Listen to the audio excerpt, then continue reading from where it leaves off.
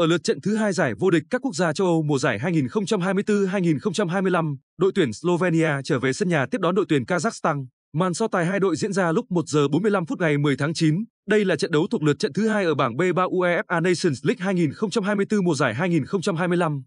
Lượt trận đầu tiên của bảng G League B đánh dấu sự khởi đầu thuận lợi của cả Slovenia và Kazakhstan. Với lợi thế được thi đấu trên sân nhà, Slovenia đã cầm hòa áo với tỷ số một đều, trong khi Kazakhstan đã giữ lại được một điểm trong trận hòa không đều với Na Uy. Vòng đấu tiếp theo hai đội sẽ có cơ hội chạm mặt nhau. Tất nhiên, Slovenia là đội được đánh giá cao hơn với lợi thế được chơi trên sân nhà. Trước khi Nations League 2024 diễn ra, Slovenia đã có một màn trình diễn ấn tượng tại Euro 2024. Họ chỉ để thua trước đương kim Á quân Anh ở vòng 1-16.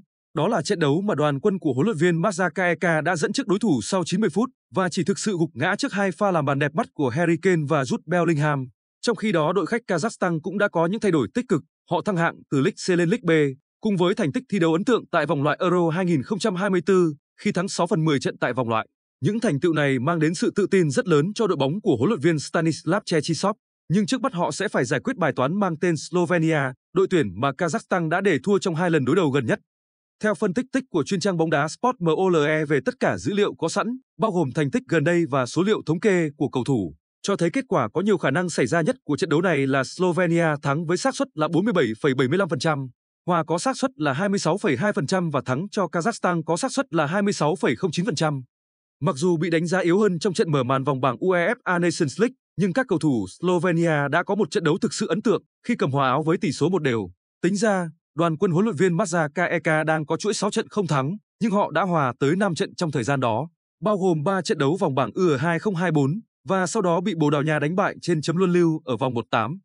Kết quả này đồng nghĩa Slovenia chưa từng bị đánh bại trong 90 phút chính thức kể từ tháng 11 năm 2023 và đang nhận được đánh giá cao để giành chọn 3 điểm ở màn tiếp đón Kazakhstan, qua đó giúp họ có được 4 điểm tại bảng 3, League B trước hai trận đấu với Na Uy và Kazakhstan vào tháng 10 tới.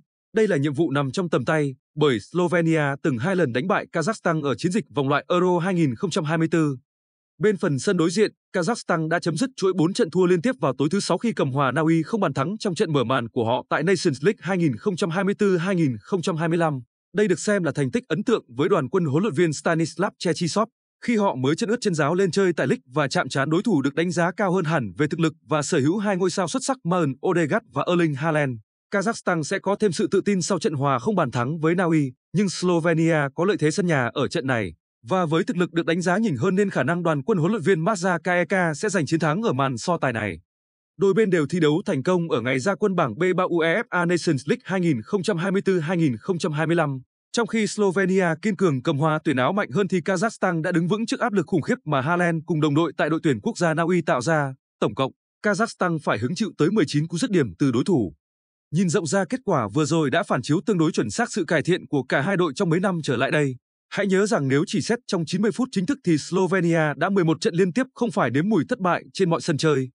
Phía đối diện, Kazakhstan đã trải qua kỳ vòng loại Euro tốt nhất trong lịch sử, thắng 5 trên 10 trong khi trước đó cùng lắm có được 3 thắng lợi ở toàn bộ vòng loại Euro.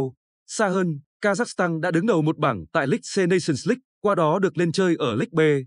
Chỉ có điều ở chính kỳ vòng loại Euro 2024 vừa rồi, Kazakhstan đã chung bảng với chính Slovenia và dù rất cố gắng nhưng thầy trò huấn luyện viên Stanislav Chechysov đều phải lâm vào cảnh trắng tay ở cả hai cuộc đụng độ Slovenia, tuy vậy tỷ số cùng 1-2.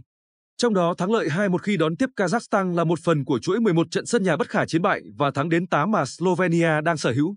Như vậy xét tổng quan về mặt chuyên môn thì Slovenia rõ ràng trội hơn và giới nhận định bóng đá cho rằng những gì Kazakhstan có thể làm chỉ là một thất bại nhẹ giống như vòng loại Euro 2024. Với việc Slovenia được dự đoán thắng vừa đủ, một bàn, thì kéo theo cuộc chơi sẽ khó diễn ra hấp dẫn. Chưa kể bản thân Slovenia đã 13 trận liên tiếp không nổ súng quá hai lần và 9 trong số này có tối đa hai tình huống lập công. Trong khi đó, Kazakhstan hiển nhiên không đủ sức tấn công ra trò ở những chuyến làm khách và đa phần tịt ngòi hoặc ghi một bàn trước những đội chủ nhà cửa trên hoàn toàn như Slovenia tới đây. Thống kê đó càng làm cho khả năng trận đấu ít bàn thêm sáng tỏ.